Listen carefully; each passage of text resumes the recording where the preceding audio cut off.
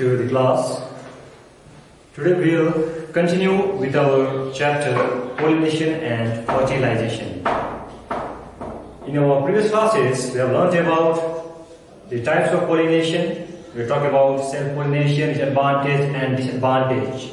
Now in today's class, we'll talk about the cross-pollination, its advantage, disadvantage and the agents that will help in cross-pollination. But before that, a brief revisions that what we have done in the previous classes, we have learned about the definition of pollination.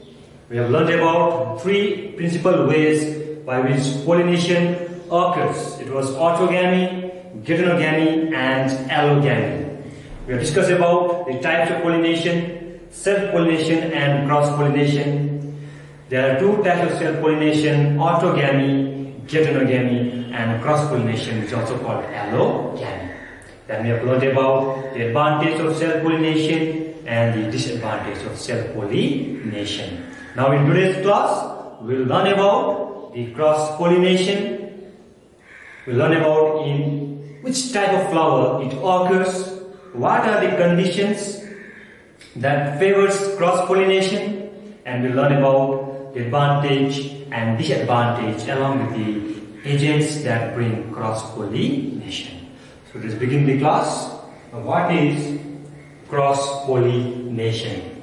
Cross-pollination is the transfer of pollen from the anther of one plant to the stigma of a flower of another plant of the same species.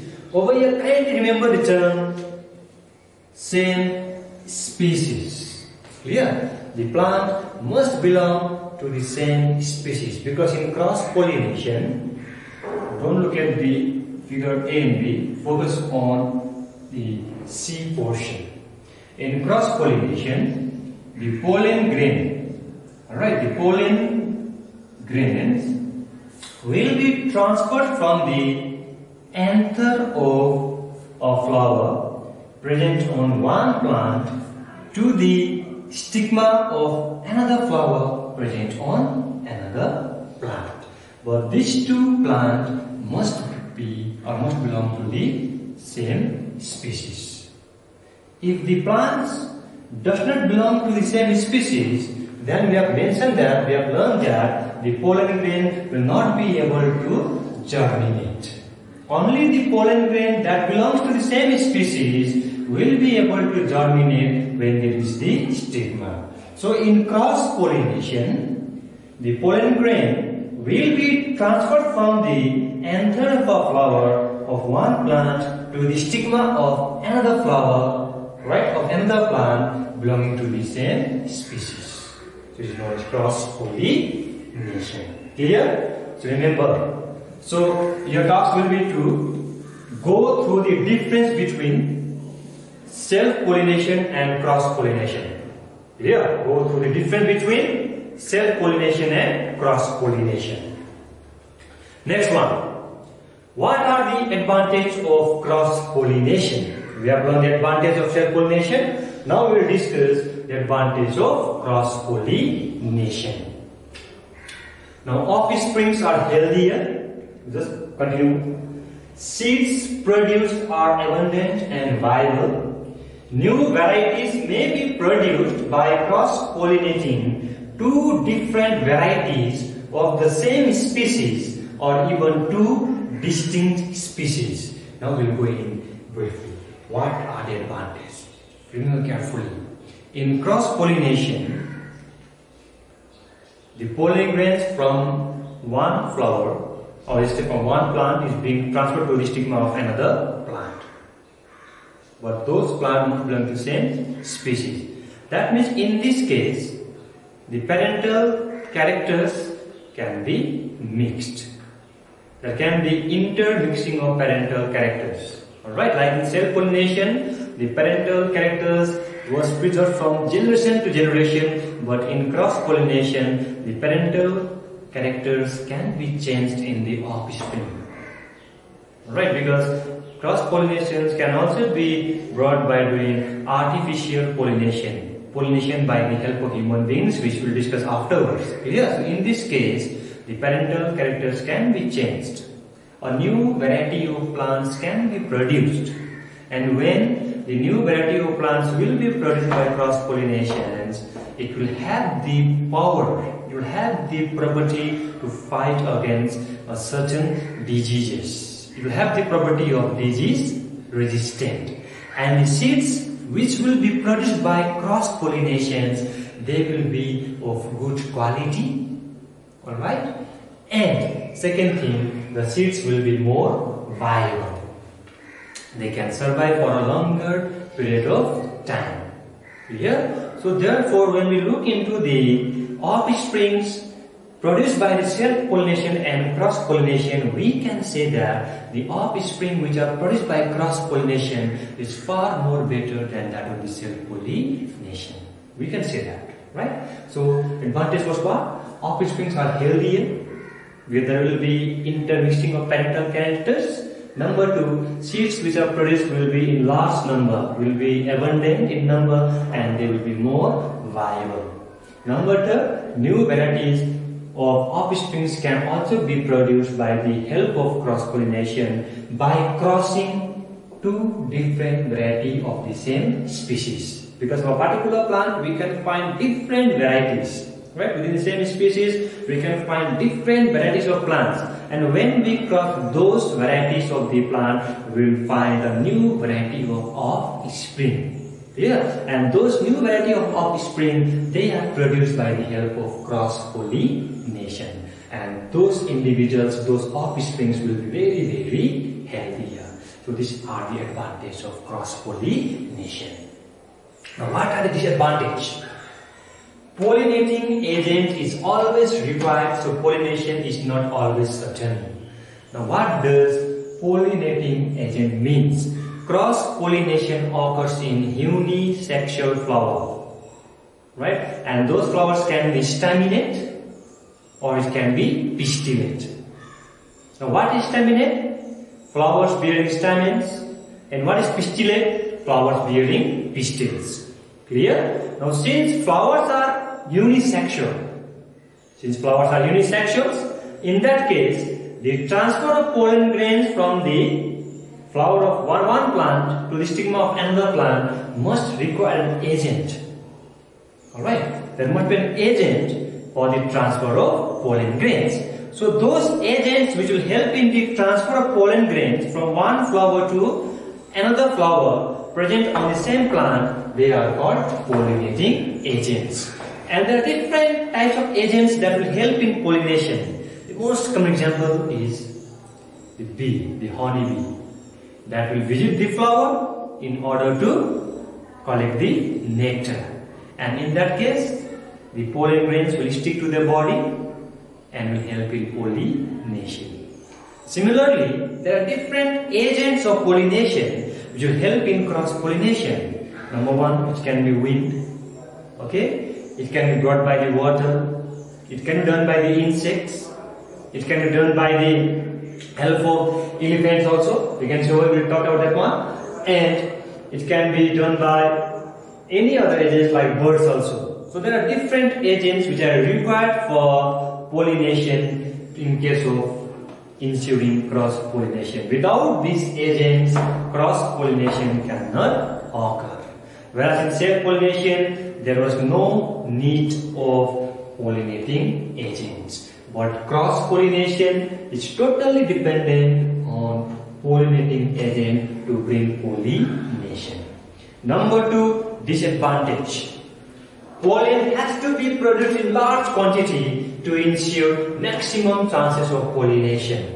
Alright, because pollen has to be transferred by the help of pollinating agent.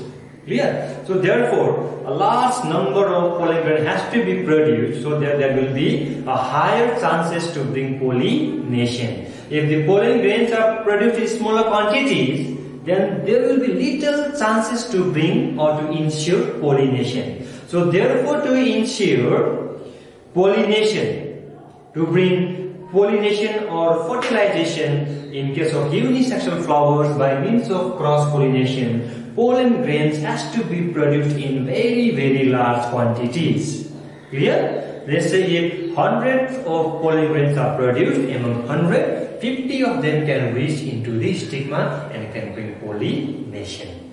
So maximum number of pollen grain must be produced to ensure pollination in case of cross pollination. Whereas in self pollination, there was no need to produce a large number of pollen grains because the anther and stigma are very very near to each other. Yeah. Next disadvantage. Flowers have to be large, colored, scented and have to produce nectar. Now why does the flower have to be very very large, have to be very very attractive and they have to produce nectar? Because they have to attract the insects. They have to attract the birds. Why? To bring pollination. So those flowers they have to be large, they have to be very very attractive so that it can attract the insects, it can attract the birds. So that the birds can visit the flower, they can collect the nectar and at the same time the pollen grain can be attached to the body of the insects or the visiting pollinating agents. And when the insects or the birds move from one flower to another flower, they will bring pollination. But in case of self-pollination, there was no need uh, to produce the nectar, there was no need to produce the colorful petals, or there was no need for the flowers to be very, very large. But here in cross-pollination, the flowers have to be large, they have to be very, very attractive, they have to be scented, and they have to produce the nectar. So these are the disadvantage of cross-pollination. Clear? Okay. Now next one. Look it. It says that it is an uneconomical process for the plant. Self-pollination was economical because most of the nutrients was consumed by the plant. But over here, why do we call it uneconomical? Because most of the nutrients in the plant has to be utilized for the production of large flower, colored flower, scented and they have to produce nectar. So over here the nutrients will be utilized.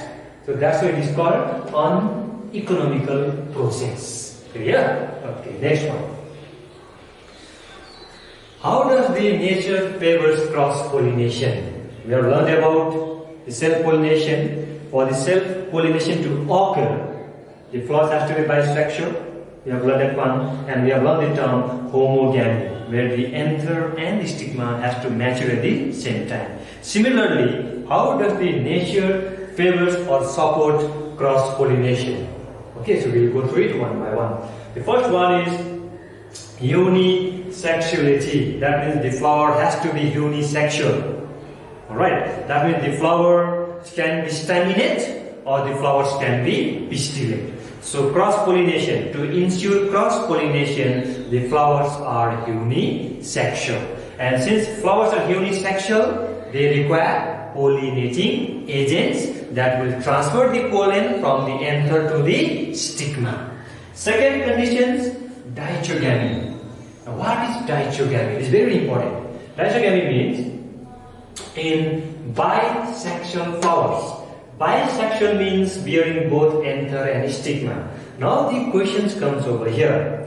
We have learned that in bisexual flower, self-pollination occurs. But the question may arise in your mind, now how does cross-pollination occurs in bisexual flowers? Am I right? Now how does the cross-pollination occurs in bisexual flowers? So nature is the answer over here. In nature, in case of bisexual flower, we will find a process called dichogamy in which the maturation of anther and stigma occurs at different times.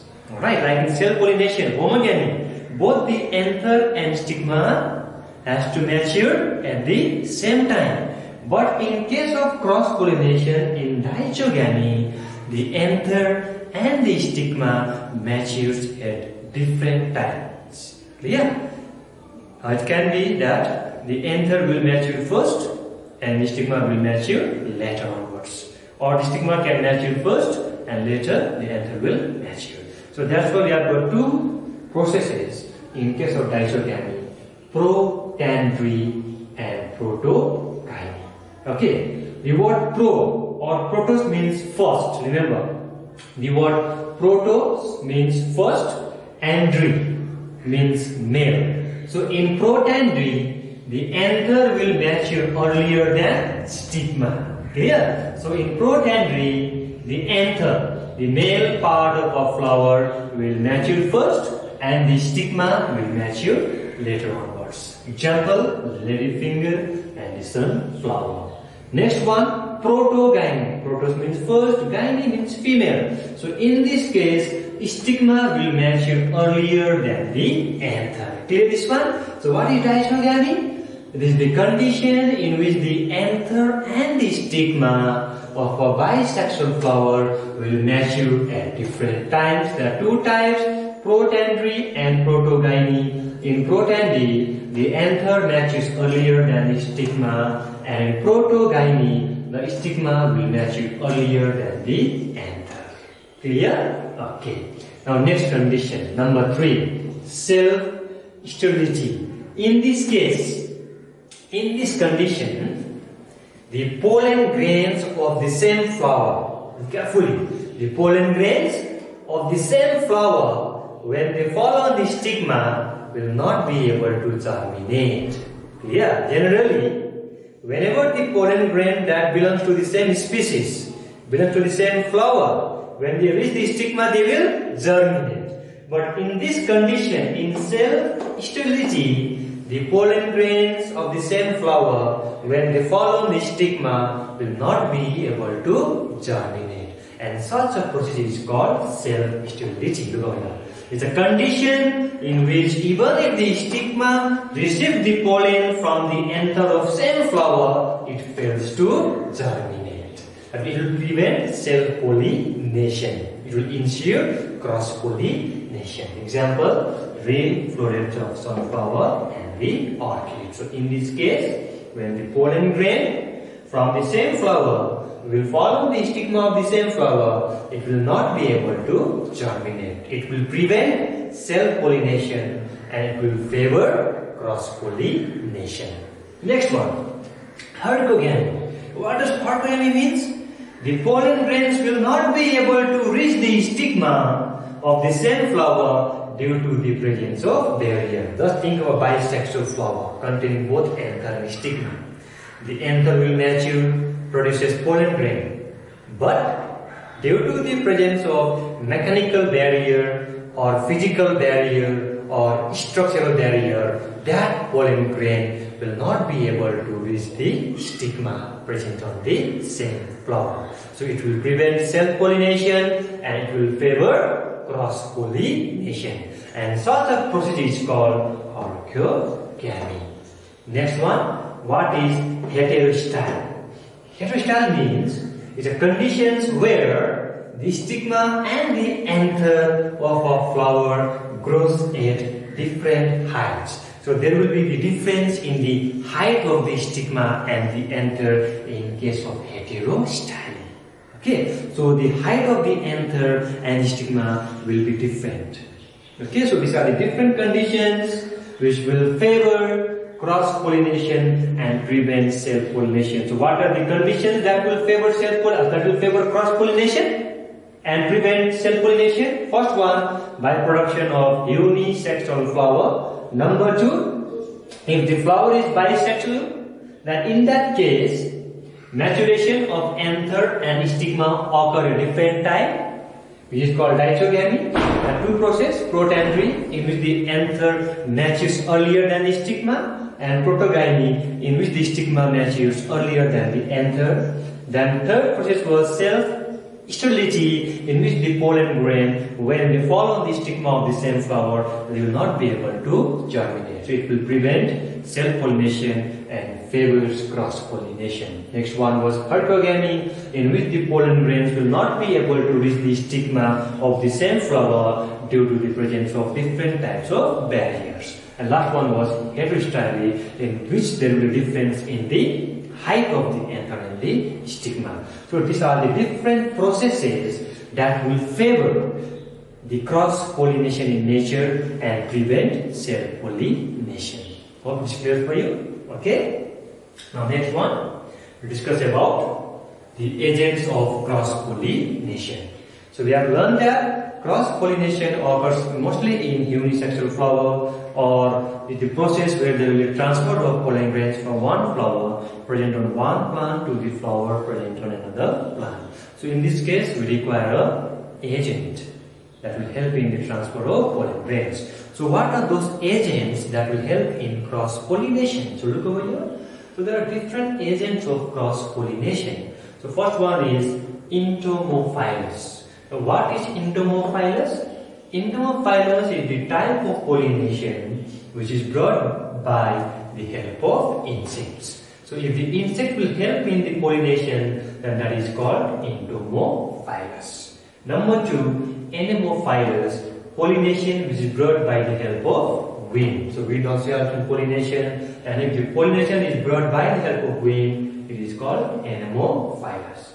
Third agent, hydrophilous. Hydro means water. So if the pollination is brought by the help of water, it is called hydrophilous. Ornithophily.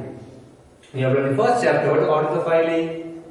Study of birds. So if the pollination is uh, brought by birds, it is called ornithophily. Elaphophyly, if the pollination is brought by the elephant. And in what type of flowers we'll see Elaphophyly, mainly the largest flower, which is called Rafflesia right? It's mainly found on the ground level and when the elephant's feet will fall on those flowers then it will help in pollination. So these are the different agents of cross-pollination. Now we discuss the characteristics of flowers pollinated by insects. Right? So let's see the characters of flowers which are pollinated by the help of the insect. So let's see the characters. First one, flowers are large, brightly colored, scented and produces nectar. So those flowers which are dependent on insects for pollination, they have to be large. Brightly colored. Why brightly colored? Well, they have to attract the insects. They have to be scented and they have to produce nectar. Why nectar? Because insects mainly visit the flower to collect the nectar.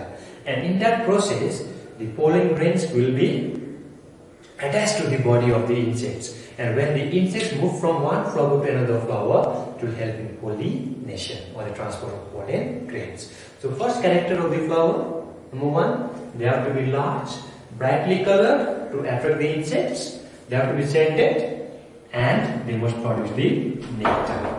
Clear? Number two character. Pollen grains and the stigma must be sticky. Now, why does the pollen grain and the stigma has to be sticky? Because when the insect visits the flower to collect the nectar, the pollen grains has to attach to the body of the insect. So that's why the pollen grain has to be sticky in nature. So due to the sticky nature of pollen grains, it can easily attach to the body surface of the insects. And when that insect moves from one flower to another flower, the sticky stigma will be able to grab or collect the pollen grains from the insects. Clear? So that's why the pollen grains and the stigma has to be sticky in nature. Third one. Flowers tends to remain in clusters to make them conspicuous. So flowers has to be in group. Alright. Now why they have to be in cluster? To be very very conspicuous. Now what does conspicuous means? To be attractive. Okay, the word conspicuous means they are attractive. Now when the flowers will be conspicuous, when they will be attractive, then the insects will visit the flowers. Okay, so these are the characters of the flowers which are pollinated by the help of the insects. So what are the characters? They have to be very very large, they have to be very very colorful, they have to be scented and they must produce the nectar. Number two character, pollen grain and stigma must be sticky and number third, the flowers tend to remain in cluster to make them attractive or conspicuous. Okay, so these are the characters of the flower pollinated by insects. Similarly, next one, let's say the flowers characters which are pollinated by the wind. Right? So, first characters, flowers are small. not brightly color and do not produce a scent. Because simply over here wind is helping in pollination. Right? Now since wind is helping in pollination in this particular case there is no need for the flowers to be large. Alright, there is no need for the flower to be very very attractive and there is no need for the flower to produce nectar and to be scented. Clear? So flowers are small, not brightly colored, they don't produce uh, nectar and they are not scented. Clear? Number two condition, character. Stamens are long and hang out of the flower to be exposed to wind. So generally stamens of the flowers will come out a little bit away from the surface of this petals part let's say so that the pollen grains can be easily blown away by the wind.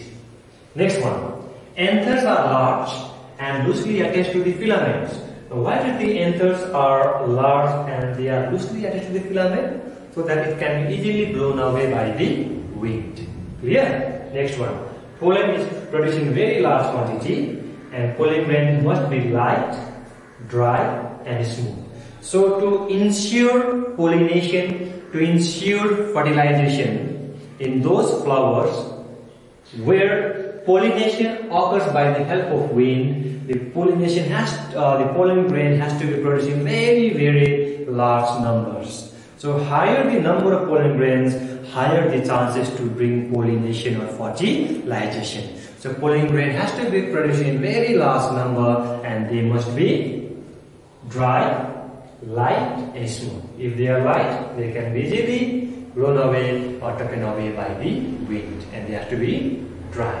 And if the pollen grain is light, dry and smooth, at the same time stigma they have to be feathery and they must hang out of the flower to trap the pollen grains. That means stigma have to be feathery. Now why does the stigma have to be trappery? Because they have to trap the pollen grain which is being blown away by the wind. Stigma has to be feathery in nature so that they can easily trap the pollen grains present in the air. So these are the characters of the flowers which are pollinated by the help of the wind. So flowers are small, not brightly colored and they grow for the same. Stamens are long and they hang out of the flower to be exposed to the wind. Anthers are large and loosely attached to the filaments.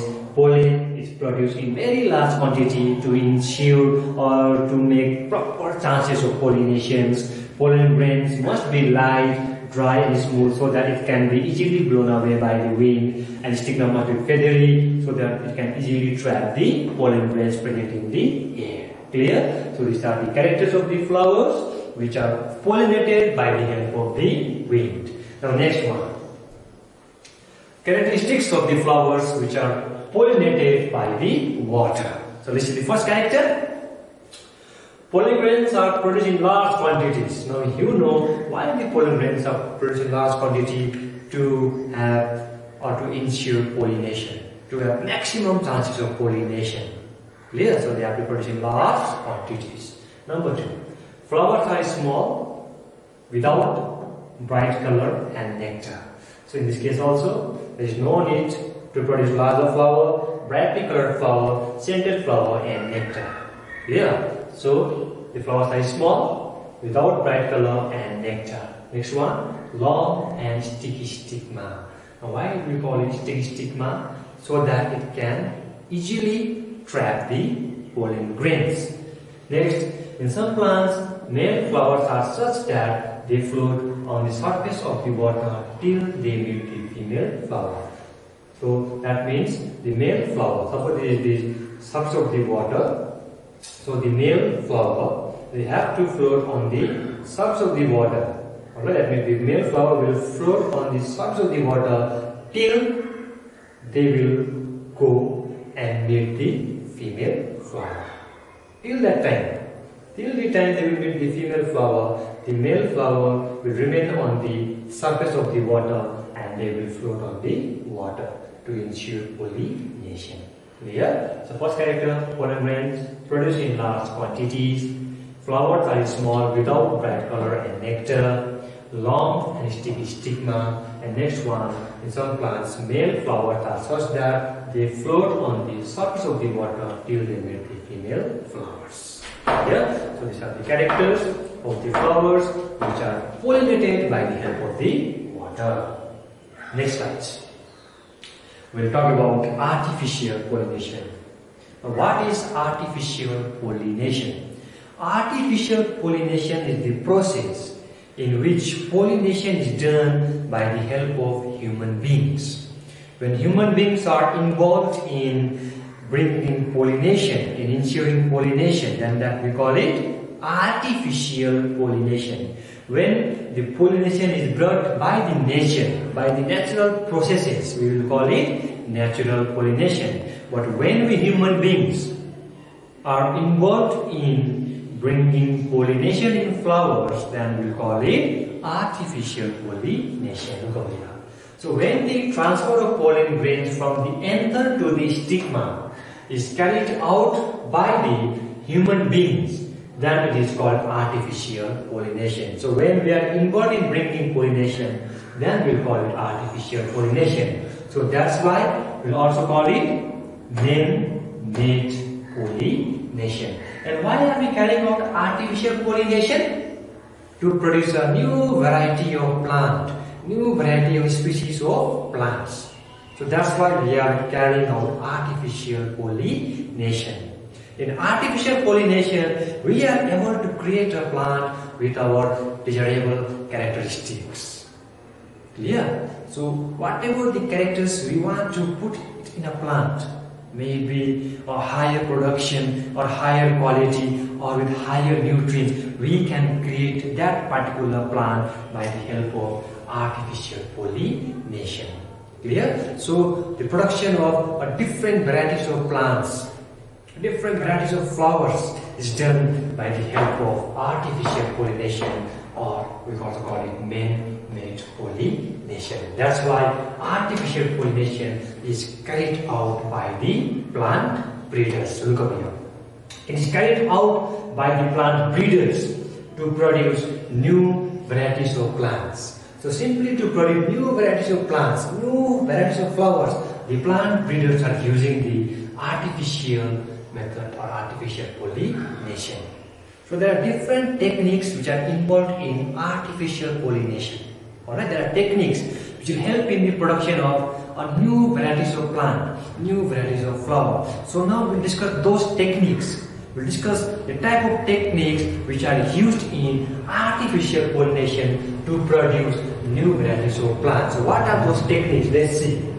The techniques that are used in artificial pollination are emasculation and bagging. Now what is emasculation? Now think of bisexual flower. Bisexual flower means those flowers in which anther and stigma are present. Clear? So in emasculation what we do or what the plant does do? In emasculation the anther of a flower will be removed in a very young stage. Clear? So in a bisexual flower both anther and stigma are present.